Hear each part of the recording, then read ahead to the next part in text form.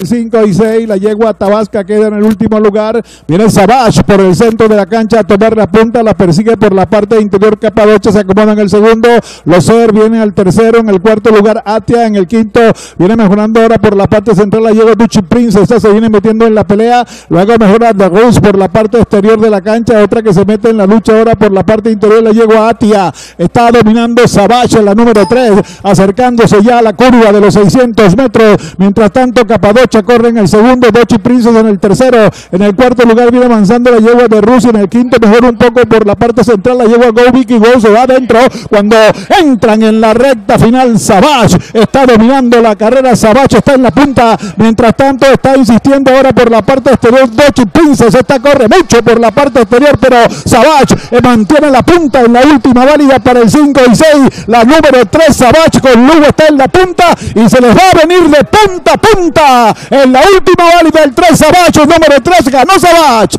El segundo lugar para la yegua Dochi Prince, tercera Capadocha, cuarta Go Vicky Go, quinta llega de Bus, luego Loser, la yegua Atia, seguidamente está arribando el ejemplar eh, Doctora Fina, detrás de esta estamos viendo a la yegua Atia, luego está eh, Recoleta Estrella, Tabasca